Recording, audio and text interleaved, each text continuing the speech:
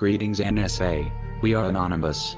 Your statement regarding the potential future sabotage of power grids by Anonymous disgusts us to the core, as it is clearly an attempt at fear-mongering. The idea that Anonymous would shut down one of the most vital resources for it to operate is ludicrous. While security and intelligence organizations throughout the world attempt to depict Anonymous as a terrorist organization, many people understand that this same subset of Anonymous they speak of is actually a movement for freedom.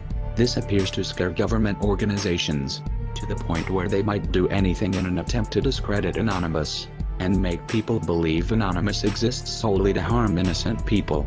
Are these claims and predictions an attempt to falsely accuse Anonymous of something that will happen in the future, maybe even being orchestrated by the same government organizations that are now already blaming Anonymous?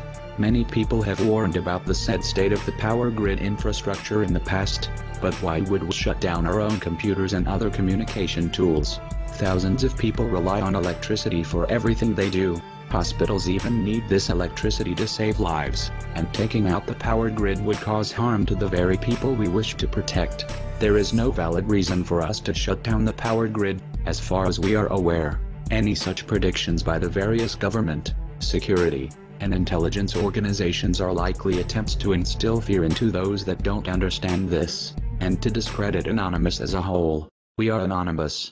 We are Legion. We do not forgive. We do not forget. For once don't expect us